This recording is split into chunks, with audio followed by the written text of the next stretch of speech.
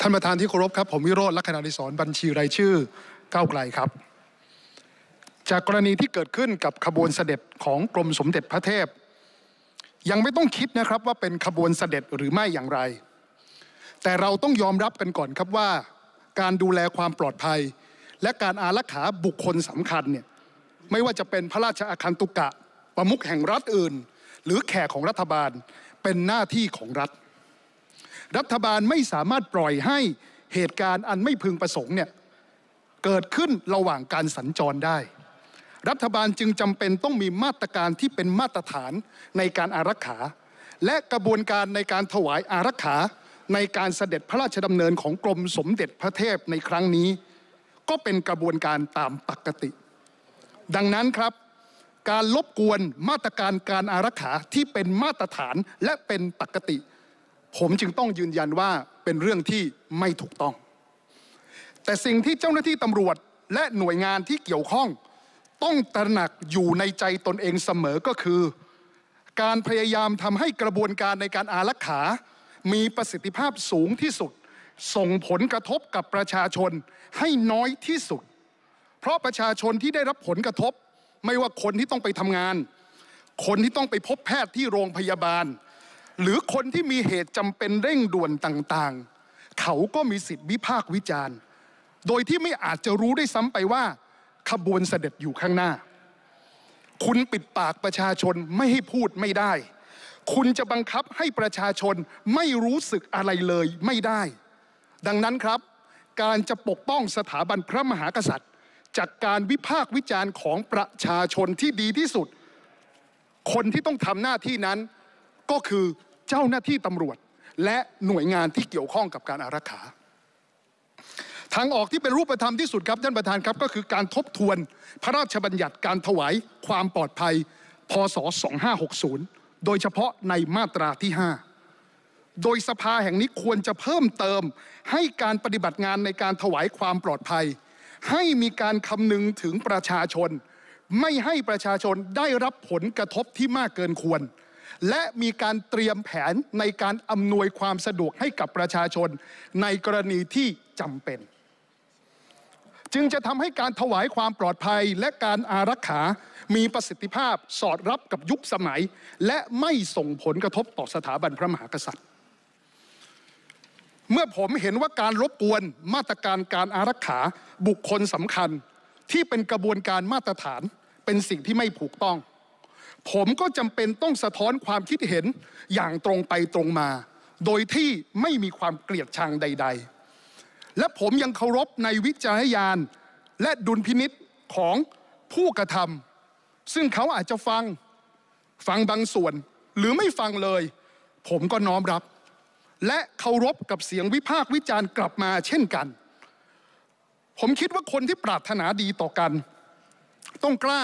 ที่จะพูดในสิ่งที่มีเหตุมีผล แม้จะรู้ว่าสิ่งที่พูดเป็นสิ่งที่บางคนอาจจะไม่อยากฟังก็ตาม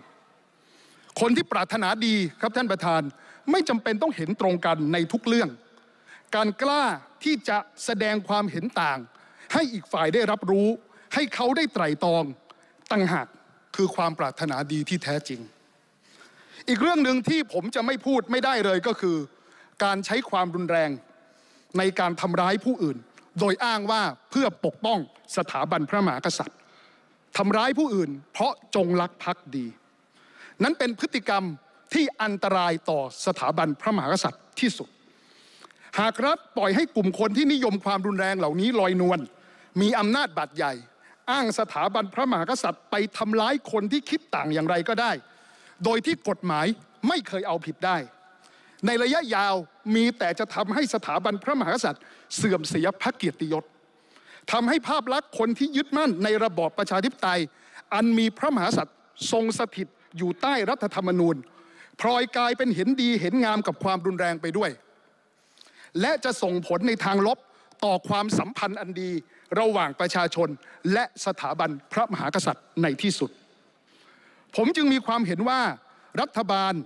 ต้องบังคับใช้กฎหมายจัดการกับกลุ่มคนเหล่านี้อย่างจริงจัง ไม่ให้มีพฤติกรรม กล้านำเอาสถาบันพระมหากษัตริย์ มาใช้เป็นเครื่องมือในการทำร้ายผู้คนตามใจชอบอีกต่อไป ท่านประธานลองจินตนาการดูครับ ถ้าเราเชื่อว่าพฤติกรรมเหล่านี้เป็นพฤติกรรมของคนดี ลองจินตนาการดูครับ ถ้าคนดีแบบนี้เพิ่มขึ้นเป็นล้านล้านคน จะเกิดอะไรขึ้นกับสถาบันพระมหากษัตริย์ จากเดิมที่สถาบันพระมหากษัตริย์ ท่านทรงเป็นศูนย์รวมจิตใจของคนไทยทั้งชาติ ต้องถูกนำมาอยู่ใจกลางความขัดแย้งของประชาชนที่แบ่งฝักแบ่งฝ่าย แล้วสถาบันพระมหากษัตริย์จะยั่งยืนสถาพรได้อย่างไร การบังคับใช้กฎหมาย ผมฝากรัฐบาลไว้ตรงนี้ว่า ต้องมีความเสมอภาค ไม่ใช่ว่าเอากฎหมายไปเล่นงานอีกฝ่ายหนึ่งแบบจัดหนักจัดเต็ม แต่อีกฝ่ายอยู่ลอยนวลอยู่เหนือกฎหมาย ความไร้คือไร้แปรและการใช้กฎหมายแบบสองมาตรฐาน ที่เกี่ยวพันกับสถาบันพระมหากษัตริย์ จะให้ประชาชนรู้สึกอย่างไร นอกจากนี้สิ่งที่รัฐบาลต้องเร่งสร้างให้เกิดขึ้นก็คือ พื้นที่ปลอดภัยในการพูดคุยในเรื่องสถาบันท่านประธานพระครับมหากษัตริย์ ไม่ใช่แค่ในสภาแห่งนี้ครับ แต่หมายรวมถึงเวทีสาธารณะอ่าทั่วไปขอท่านวิโรจน์ครับขออนุญาตครับมีเอ่อสมาชิกประท้วงครับท่านประธานครับผม เกชาศักดิ์สมบูรณ์ครับสมาชิกสภาผู้แทนราษฎรแบบบัญชีชื่อพรรครวมไทยสร้างชาติ ผมขออนุญาตพูดประท้วงผู้ก่อนอภิปรายนะครับว่า อันนี้เป็นนอกเหนือจากยติที่เราได้เสนอไปนะครับยติที่ทางพรรคเสนอไปนั้นเป็นเพียงแค่การมาตรการเรื่องการรักษาความปลอดภัยเท่านั้นครับขอท่านประธานได้พิจารณาด้วยครับครับ ก็เนื่องจากการอภิปรายเรื่องนี้ครับเป็นเรื่องทั้งเรื่องมาตรการความปลอดภัยและผลลัพธ์หลังจากนั้นนะครับที่เกิดความไม่ปลอดภัยทั้งกับ พี่น้องประชาชน แล้วก็เรื่องของความปลอดภัยของทางเอ่อขบวนเสด็จด้วย เพราะฉะนั้นยังอยู่ในยตินะครับ ขออนุญาตนะครับ เชิญท่านวิโรจน์ต่อครับ ท่านท่านท่านประธานครับท่านประธานครับกับเชิญท่านอัครเดชครับท่านประธานครับ ผมอัครเดชวงศ์วิทักษ์โรธครับสมาชิกสภาผู้แทนราษฎรจังหวัดราชบุรีเขตสี่พรรครวมไทยสร้างชาติท่านประธานครับ เมื่อสักครู่นี้ท่านเกชาศักดิ์สมบูรณ์นะครับ ได้ประท้วงท่านประธานนะครับอ่าได้ประท้วงผู้ที่กำลังอภิปราย เรื่องของประเด็นนะครับในยติที่ได้ท่านเอกนัทพร้อมพันธ์เนี่ยนะครับได้เสนอไปเนี่ยท่านประธานดูนะครับเป็นยติเรื่องของให้รัฐบาลเร่งดำเนินการกับหน่วยหน่วยงานที่เกี่ยวข้องในการบังคับใช้กฎหมายอ่าท่านอัครเดชครับนะครับเป็นประเด็นประท้วงเดียวกันนะครับแล้วผมวินิจฉัยแล้วครับท่านท่านประธานครับครัผบมขออนุญาตขออนุญาตประท้วงนะครับท่านประธานนิดนึงครับขออนุญาตนะครับ ไม่ไม่อนุญาตแล้วครับ อันนี้ผมวินิจฉัยแล้วนะครับครับ ครับเชิญท่านวิโรธครับแล้วก็ถ้าเพื่อนสมาชิกท้วงติงว่าต้องอยู่ในยติ ท่านวิโรธก็รับฟังด้วยนะครับ แล้วก็จะได้ไม่เกิดการประท้วงครับ ท่านท่านประธานครับนิดเดียวครับ ผมประท้วงท่านประธาน เมื่อสักครู่นี้ท่านประธานนะครับ บอกว่าเพื่อนสมาชิกประท้วงทางผู้ที่กำลังอภิปรายอยู่ แต่ตอนนี้เนี่ยผมประท้วงท่านประธานข้อบังคับข้อที่ 9 นะครับท่านประธานต้องวางตัวเป็นกลางนะครับ เพราะว่าท่านประธานยังไม่ได้ฟังผมเลย ว่าผมประท้วงท่านประธานเรื่องอะไรนะครับแล้วท่านประธานก็ปิดไมค์ผม นะครับท่านประธานต้องฟังผมก่อนผมฟังเพราะแล้วครับท่านอัครเดชท่านท่านอ้างผมของท่านผมประท้วงท่านประธานนี้ครับ ว่าท่านใช้วินิจใช้ใช้ดุลพินิษเนี่ยไม่เป็นกลางนะครับ ท่านก็ต้องฟังผมก่อนว่าเพราะอะไรนะครับ แต่ท่านก็ตัดบทผมนะครับว่าผมเป็นประเด็นเดียวเพราะผมยังไม่ได้พูดเลยครับท่านประธานครับ ขอให้ผมได้พูดก่อนได้ไหมครับ ว่าท่านไม่เป็นกลางเพราะอะไรอ่าท่านอัครเดชครับ ผมยินดีให้ท่านพูดและประท้วงตามสิทธิ์นะครับ แต่ตะครับกี้ขอบคุณครับถ้ท่านประธานครับบอกผมว่าขออนุญาตไได้ประท้วงฟัท่านประธานตามข้อถ้าบอกว่าผมไม่ได้ฟังท่านเลยนั่นไม่เป็นความจริงนะครับ ผมฟังท่านในเบื้องต้นแล้วนะครับ ครับเชิญท่านอัครเดชพูดต่อครับ ครับท่านประธานครับ เนื่องจากยติที่อ่าทางผู้อภิปรายอ่าโทษทีครับยติที่ทางผู้ที่เสนอยติเนี่ยเสนอมาเนี่ยเป็นเรื่องเกี่ยวกับการทบทวนมาตรการนะครับในการถวายความปลอดภัย แต่ว่าสิ่งที่ทาง ผู้อภิปรายอยู่เนี่ยก็คือคุณวิโรธเนี่ยกำลังอภิปรายอยู่เนี่ยเป็นเรื่องของอกลุ่มบุคคลที่เห็นต่างนะครับที่มีปัญหากันก็คือผู้ที่กระทำนะครับการมิบังควรกับผู้ที่ไปประท้วงกับสิ่งที่กระทำเนี่ยนะครับมันเป็นปัญหานะครับนอกเหนือจากประเด็นยติที่ท่านเอกนัทพร้อมพันธ์เนี่ยได้เสนอ ผมก็เลยขอให้ท่านประธานเนี่ยใช้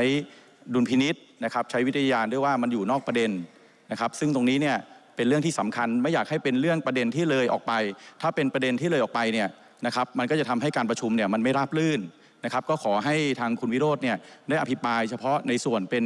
การเสนอให้รัฐบาลเนี่ยหรือฝ่ายเจ้าหน้าที่เนี่ยดำเนินการในการมีมาตรการนะครับในการถวายความปลอดภัยในขบวนเสด็จเท่านั้นครับส่วนเรื่องอื่นเนี่ยนะครับขอให้ท่านไปยื่นยติใหม่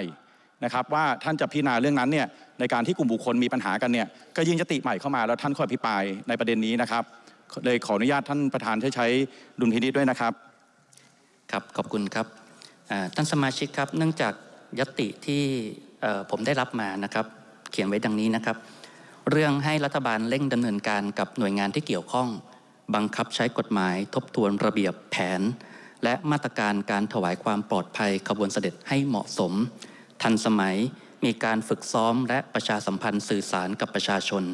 เป็นการถวายความปลอดภัย ให้สมพระเกียรติเพื่อรักษาไว้ซึ่งสถาบันของของชาตินะครับ อันนี้ที่เขียนเป็นตัวอักษรของท่านเอกนัทพร้อมพันธ์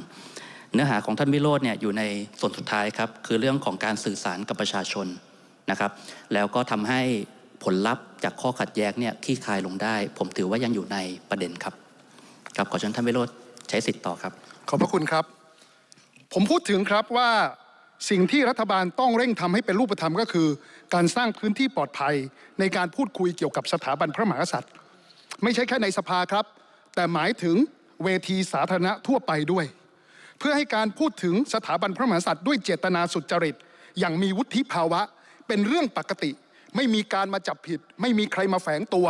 หรือใช้กฎหมายในการกลั่นแกล้งรังแกกัน ท่านประธานครับ หากไม่มีพื้นที่ปลอดภัย